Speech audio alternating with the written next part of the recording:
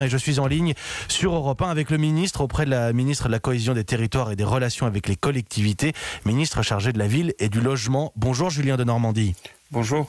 Votre portefeuille, la ville et le logement. On va en parler dans un instant, bien sûr. Vous êtes sur Europe 1 pour annoncer un dispositif de solidarité vis-à-vis des soignants. Mais d'abord, la ville, Julien de Normandie.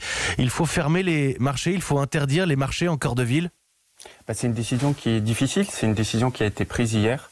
Pourquoi elle est difficile Parce que les marchés, ça fait partie de notre identité. On aime aller sur des marchés. Et puis les marchés, euh, ce sont des endroits qui sont euh, parfois euh, indispensables pour beaucoup de Français. Et donc la décision qu'on a prise, elle est difficile parce qu'elle a été faite pour protéger les Français, en dépit de cet amour qu'on a pour les marchés. Et ce qu'on a dit, ce que le Premier ministre a annoncé hier, c'est que par principe, dorénavant, les marchés seraient interdits, sauf dans certains cas, c'est-à-dire lorsque le maire le demandera au préfet, parce que dans certaines communes, on sait que le marché est tout simplement indispensable pour l'approvisionnement d'un certain nombre de Français. Donc voilà la, position, voilà ce qui a été annoncé hier par le Premier ministre.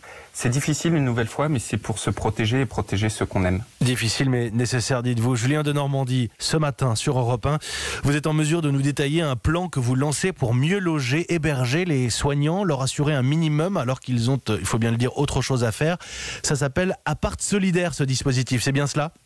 Exactement. En fait, l'objectif, c'est d'apporter tout le soutien nécessaire à ceux qui sont au front.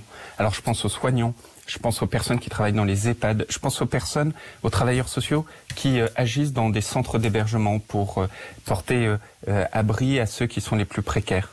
Et on se rend compte que parfois le logement est un vrai problème parce que vous habitez loin, par exemple. Et en même temps, tout le monde le voit, il y a plein de logements, notamment les logements Airbnb, qui sont euh, inoccupés, tout simplement parce qu'il n'y a plus de touristes, il n'y a plus d'activité touristique. Et donc j'ai lancé un appel il y a quelques jours à cette société, à Airbnb, en leur disant créons une plateforme, Apart Solidaire, pour que tous les propriétaires qui le souhaitent, qui ne mettent pas aujourd'hui en location leur logement, puissent les mettre à disposition via cette euh, plateforme Apart Solidaire aux soignants, aux personnes qui travaillent dans les EHPAD ou ceux qui sont des travailleurs sociaux. Donc c'est un, partenariat entre l'État et Airbnb et, j'allais vous poser la question, pas que les médecins, pas que les soignants bien sûr, les travailleurs sociaux aussi, euh, les, travailleurs dans les EHPAD, hein, j'en parlais euh, à, l'instant, ils sont concernés. Euh, simplement, un, chiffre, est-ce que vous êtes capable de dire aujourd'hui combien ont besoin d'un logement, d'un hébergement temporaire pendant cette crise? Non, c'est compliqué, mais comment ça va se passer En fait, à partir de ce matin, Airbnb va envoyer un message à des centaines de milliers de personnes, les personnes qui euh, mettent en location généralement leur logement sur cette plateforme, en leur disant est-ce que vous voulez participer à cette initiative? Donc moi, j'en appelle à tous ces propriétaires de logements pour y répondre favorablement. Et puis, à partir de ce soir, cette plateforme sera mise en ligne pour que bah, ces soignants, ces personnes qui travaillent dans les EHPAD puissent se connecter et voir si à proximité de leur lieu de travail, il y a des logements qui sont euh, disponibles. C'est encore une nouvelle fois un élan de solidarité. Moi, ce que je trouve important aussi, c'est que dans ces moments, la solidarité, vous voyez, elle est à tous les étages, au niveau de la société, au niveau économique, au niveau social. Je crois que c'est très important parce que la solidarité, elle ne doit pas être victime du Covid-19 et toutes nos forces doivent être mises pour accompagner euh, ceux qui sont donc, au front. Donc si j'ai un logement sur Airbnb ce matin, je vais recevoir euh, un email m'expliquant le, dispositif. Est-ce que je peux, alors simple question, est-ce que je peux louer juste une chambre? Non, l'idée c'est un logement euh, complet. complet. Exactement. C'est un logement complet et ça, le détail sera donc envoyé ce matin par la société à, tous ses adhérents pour que ces logements puissent être mis à, à, disposition. Alors même si on parle de solidarité, la question qui fâche, Julien de Normandie, qui va payer? Est-ce que l'État va indemniser tous ces bailleurs temporaires? Non, l'idée c'est de jouer sur cette solidarité. Vous savez, ces logements, ils sont inoccupés aujourd'hui, donc ils ne rapportent rien aux propriétaires. Euh, et je sais qu'il y a beaucoup de propriétaires. Moi, je reçois en tant que ministre du logement beaucoup d'élan de solidarité, beaucoup de personnes qui me disent est-ce que je peux aider, est-ce que je peux mettre à disposition mon, logement? Dans ces périodes de crise, cette solidarité, elle existe. Et donc, il y a beaucoup de propriétaires qui sont euh, vraiment désireux de pouvoir euh, faire cela.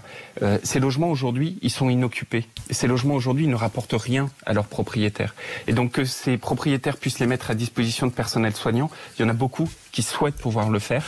À partir d'aujourd'hui, il y aura cette plateforme qui permettra d'organiser cela et c'est euh, très bien euh, ainsi. Et vous l'avez euh, souligné aussi les travailleurs sociaux concernés parce que nous on reçoit sur le hashtag Radio Ouverte beaucoup de questions au sujet des sans-abri, des migrants notamment. Julien de Normandie, je voulais vous poser la question, la prolongation de la trêve hivernale annoncée par le président de la République, parfaitement claire dans le contexte, mais qui va indemniser les, les propriétaires si des mauvais payeurs, des foyers en difficulté ne payent plus le loyer? C'est de la responsabilité de l'État. Euh, la trêve hivernale, comment ça se passe? C'est-à-dire qu'il y a une décision de justice et ce que j'ai décidé, on l'a modifié dans la loi, c'est de prolonger cette trêve hivernale. C'est-à-dire que même s'il y a une décision de justice qui est prise pour expulser quelqu'un, euh, à ce moment-là, euh, l'État bloque cette expulsion. Et donc c'est de la responsabilité de l'État et donc c'est l'État qui indemnise. Je voudrais souligner aussi et profiter de vous avoir avec nous pour souligner je veux vous aider .gouv.fr. Ça, c'est une plateforme de mise en contact entre bénévoles, associations, là sur tout un tas de domaines, hein, de l'aide alimentaire, de la garde d'enfants, euh, du lien social aussi pour les plus fragiles, euh, de la solidarité de, de, proximité. Quoi. Julien de Normandie, ça existe aussi. Je veux vous aider.gouv.fr. Merci beaucoup d'avoir détaillé ce plan Appart Solidaire. C'est le nom Appart Solidaire. Euh, je le dis pour euh, nos auditeurs. Les bailleurs temporaires hein, sur Airbnb, peut-on les appeler comme ça, je ne sais pas, vont recevoir un email ce matin, partenariat entre l'État et Airbnb que vous annoncez sur Europe 1. Et puis pour les